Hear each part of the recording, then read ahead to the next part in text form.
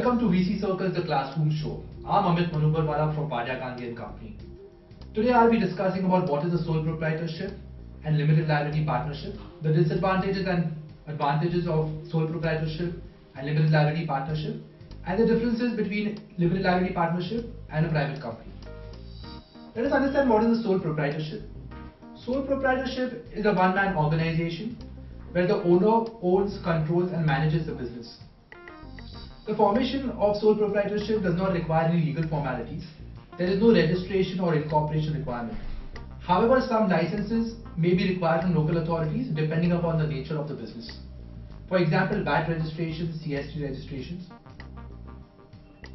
Let us understand the taxation impact. As I said, sole proprietorship, business and the owner is one and the same. The owner has to file the tax returns in his personal name as sole proprietorship does not enjoy a separate legal existence. The advantages of sole proprietorship firstly is the ease of formation as there are no legal formalities required. Secondly, as the owner controls and manages the business, there is operational flexibility. Lastly, the winding up or the dissolution of sole proprietorship is as easy as the formation as again there are no legal formalities. The key disadvantages of a sole proprietorship. Unlimited liability is one of the biggest disadvantages of sole proprietorship. Unlike LLP and companies, there is no separate legal existence in case of a sole proprietorship as the owner and the business are one and the same. Which in other words would mean the owner exposes himself to unlimited liability. He would be liable for all the debts and liabilities of the business, which would also include his personal assets. No perpetual succession. Sole proprietorship have a limited life and have no perpetual succession. The business will cease to exist upon death or retirement of the owner. Lastly, the source of capital in case of sole proprietorship is dependent only on the limited resources of the owner and limited borrowings which he can avail of and as such it would impact the business expansion and growth of the business.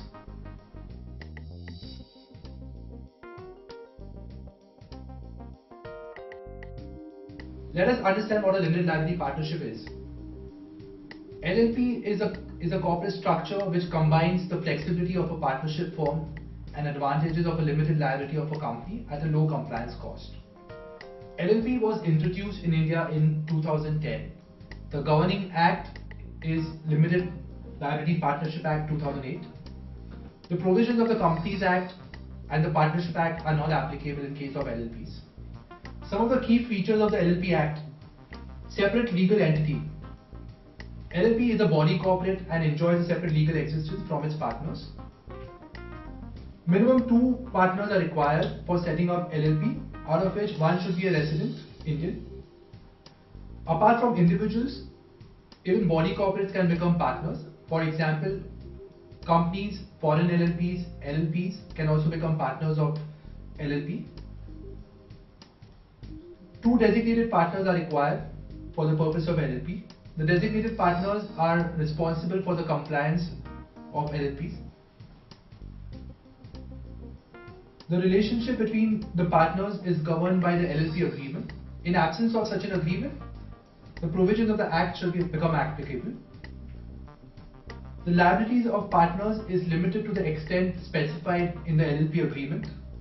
However, in case of fraud or any wrongdoings on part of the partner, the liability of the concerned partner is un unlimited. In short, which means he'll become personally liable for any defaults. Formation of LLP. The first step would be to decide on the partners and designated partners who will form part of the LLP. Next would be to obtain the designated partner's identification number. Thereafter, you should apply for name approval. The application should be made before the ROC of the state in which the registered office is to be situated draft the LLP agreement and once you obtain the name approval from the ROC, you should file the incorporation document along with other documents as required under the Act. The incorporation document is basically the charter document which contains the name of the LLP, the proposed business of the LLP, the name of the partners. Within 14 days from completion of all formalities, the ROC would issue the registration certificate for the LLP, pursuant to which your LLP comes into existence and thereafter it would enjoy perpetual succession. Even any change of partners will not affect the existence of LLP.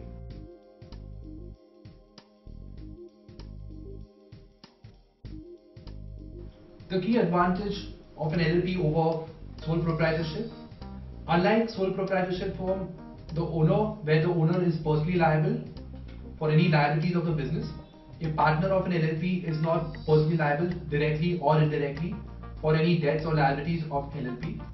However, in case of fraud or any wrongful act on part of the partner, the concerned partner's liability would become unlimited and the creditors can also go after his personal assets. The liability of a partner in an LLP is restricted to the extent specified in the LLP agreement. Some of the significant differences between LLP and private companies are as follows. There is no audit requirement in case of LLPs unless the turnover of LLP is above 40 lakhs or capital contribution by partner is about 25 lakhs. From a taxation perspective, LLPs are only required to bear income tax and alternate minimum tax. There is no dividend distribution tax nor any minimum alternate tax. Some of the other differences would cover the low formation and compliance cost, limited statutory compliance requirements. For example, there is no requirement to hold board meetings, no requirement to hold AGMs. There is no cap on maximum number of partners which can be inducted in an LLP. There is no minimum capital contribution requirement, unlike a private company where you have a minimum share capital of 1 lakh for a private company.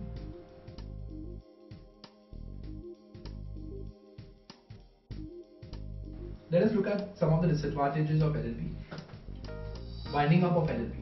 Unlike sole proprietorship, where resolution is easy because there are no legal formalities, the winding up of LLP, because it has to follow a similar procedure as in case of companies, it becomes a cumbersome procedure. Foreign investments in LLPs. Foreign direct investment in LLP is now permitted under the government approval route as per the provisions of foreign exchange laws in India. However, only those sectors where 100% FDI is permitted under automatic route are open for LLPs. Foreign institutional investment and foreign venture capital investment are not permitted in case of LLPs. Lastly, LLPs are also okay. Lastly, LLPs can also not raise external commercial borrowings, which basically limits their borrowing options.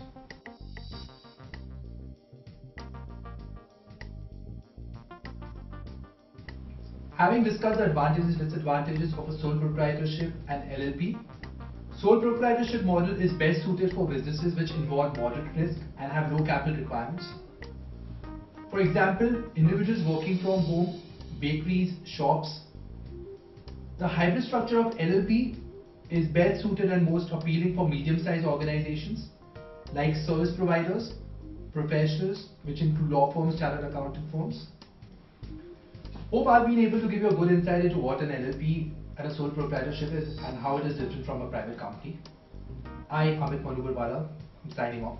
Thank you for watching.